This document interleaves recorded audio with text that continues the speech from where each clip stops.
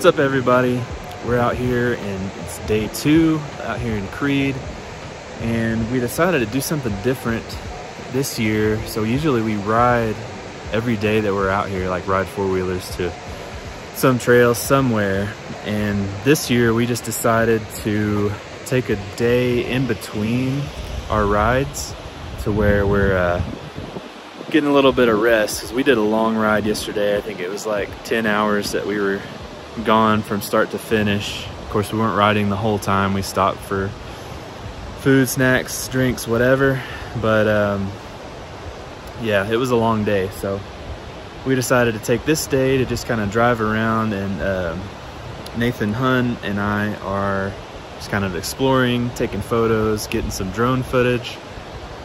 So we're here right now at Commodore Mine up on the Bachelor City Loop. And um, like I said, just taking some some cool photos, some cool video. Um, I got some drone footage here in 2019, but even back then I was like not as confident about my drone piloting abilities. So uh, now that I have the new drone that's like got better quality, better resolution, um, I decided to bring it out here and try it out at this spot.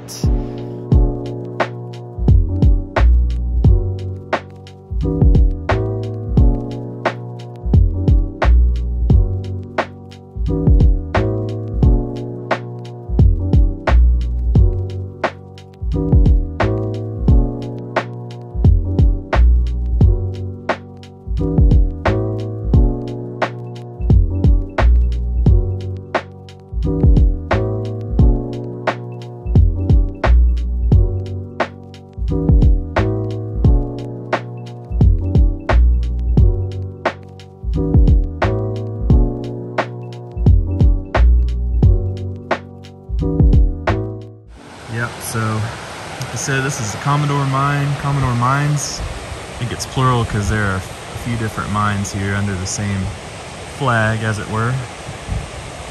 But uh, yeah, I just flew the drone all the way to the top up there to that farthest structure that you can see. And uh, I got a photo from an angle that I don't know if anyone's ever gotten one from. At least I've never seen one, so could be pretty cool. I guess we'll find out. I might try to sell it to some one of the businesses here in Creede to display. So we're getting ready to move on because we got plenty of photos and videos here. So just kind of gonna hang out with us throughout the day. We're gonna explore the Creede area, things that you can get to in just a truck, things that you don't need four wheelers. So getting ready to continue on and see what we can see.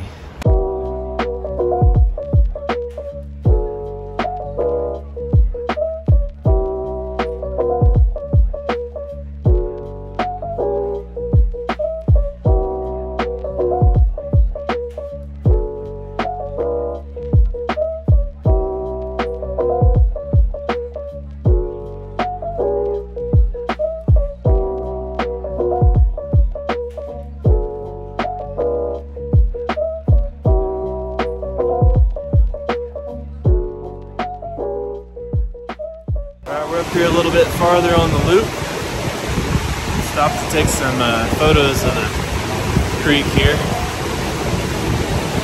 Got some clouds rolling in, but that's just better for us for lighting for our photos and videos. So hopefully it doesn't uh, start a downpour or anything like that. But anyway, gonna head up the hill a little bit, and there's uh, gonna be some cool like old cabins and stuff. So see you up there.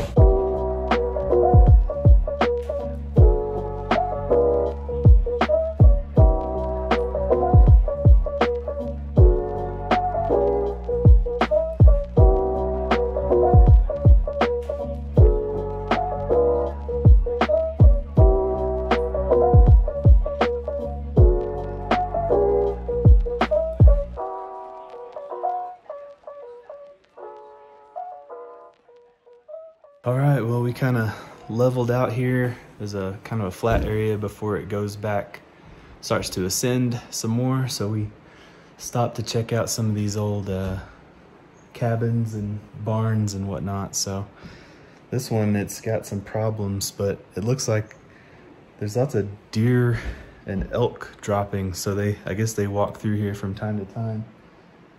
Maybe just trying to get out of the storm or whatever. But I want to show you this building next to it. So this thing has definitely seen better days. This is the one that I was just in. But this one's super cool. Let's go in here. I'll recommend to anybody if you ever come out here and you want to explore a lot of these old cabins, just don't don't lean on anything, don't push anything. Cuz you can still go in here and this looks like a spot that some kind of animal could hide out in. But, you know, sometimes it's amazing that these things are still standing, but just, uh, oh, check this out. So there's a, I'm gonna raise this up through the boards here. There's a hole right there where probably the chimney or the, the old pot-bellied stove had the pipe going through to the roof. But look at the how the moss is like growing on these boards. Pretty cool. I love all these old abandoned buildings. I've actually never been in this one before, so I'm trying to do a lot of things this trip that I tend to either skip or, you know, just haven't paid much attention to in the past. So there she is from the outside. And I just almost tripped over a rock there.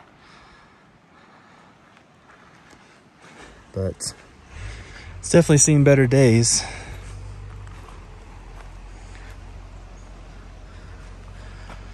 Still cool though. All right, we made it up here to Midwest Mine and it just started raining. So uh, we're just kind of under the under the roof of this shed right now, shack, whatever you want to call it. So let me show you something that I just can't believe this happened. Hold on a second. So this right here used to be one of the coolest looking deals. These rails went into the mountain and it still had the mine entrance there. And they came through here and caved it in and completely ruined the look of it because it had, you know, the wood posts that went around the edges so the entrance and the rails just ran right into the building. I mean, it was even intact last year when we were up here, so I don't know what the heck what the heck's going on, why they did that. I don't think it would have caved in on, by itself. And then there's a sign there now that says keep out. So, so I've showed this part in videos before, but just in case you hadn't seen any of my other videos. So see all these cardboard boxes? These used to contain core samples. And let me, look, I found a piece. I'll show you what it looks like. Give me a second. So they were doing core drilling, and this is obviously a busted piece, but they're pretty perfectly round to match the drill bit, and they're usually like two feet long, something like that. But over the years, people have come in here and picked up almost all of them. I bet if you dug through here enough, you could find one. But uh, yeah, mostly it's just cardboard boxes and rat poop. Yeah, I was telling the guys yesterday because we were stuck in the rain for a long time over on Engineer Pass.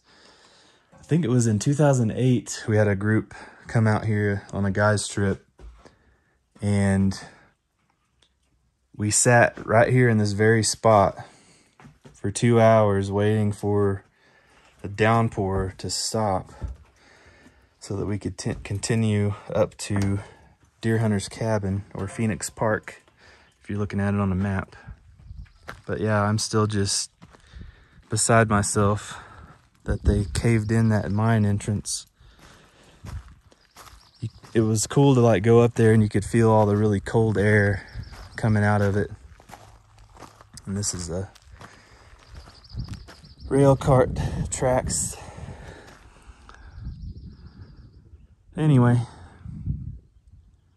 just sprinkling now, not a lot of actual rain, but here you've got a nice uh, porta potty or stationary potty, outhouse, whatever you want to call it. So yeah, uh, Nathan Hun and I have been, we've got two Nathans on this trip, so we have to distinguish that we're going around, exploring, taking photos, videos, all that good stuff. Hearing some thunder off to the west. Last time we were here, these this was wide open. I don't really want to open it, so I'm not that guy. But there's boxes for more core samples. I'm pretty sure that's all that's behind these doors is more core samples, so. Anyway.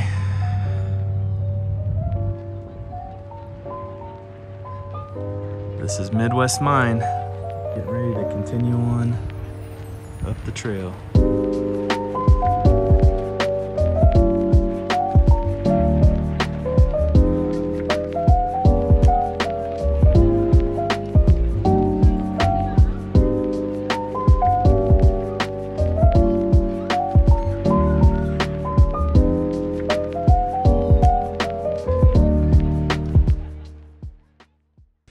So we stopped here at Park Regent Mine and it looks like it's just a big hole in the ground with all the timber. Also, it had stopped raining the whole time we were in the truck.